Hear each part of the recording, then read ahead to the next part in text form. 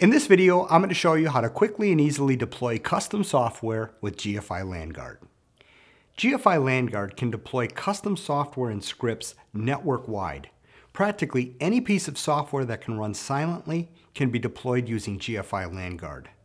To deploy custom software and scripts to your network, open the Remediate tab. Select Remediation Center and select Deploy Custom Software. Select the computers or computer groups where patches need to be deployed from the computers tree in the left part of the screen. Multiple items can be selected using Control-Click.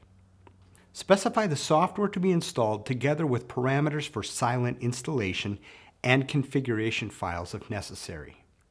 Click the Deploy button in the bottom right corner before starting the deployment. make sure you set the right schedule and other options such as credentials. You can configure the pre-deployment options from here by clicking Customize.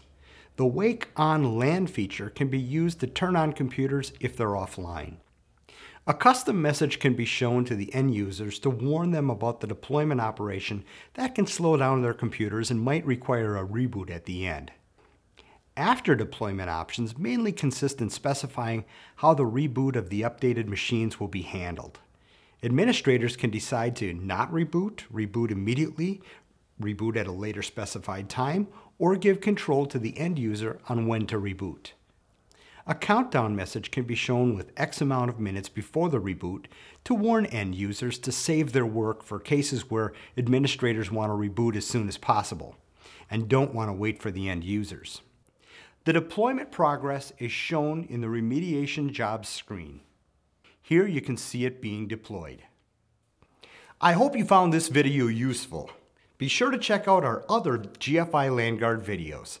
Thanks for watching.